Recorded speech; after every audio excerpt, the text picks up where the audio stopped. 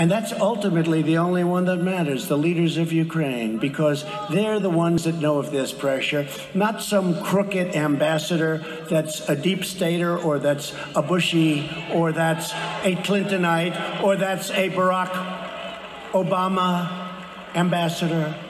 Okay?